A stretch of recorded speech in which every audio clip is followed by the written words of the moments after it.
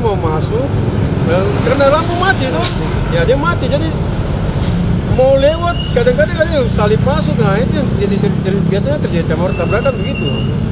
Jadi terpaksa ya mau tidak mau harus pemerintah daerah bisa melihat hal ini. Iya toh iya. maksudnya untuk dalam arti Lancaran. jangan sampai ada hal-hal yang terjadi tidak diinginkan begitu ya kan?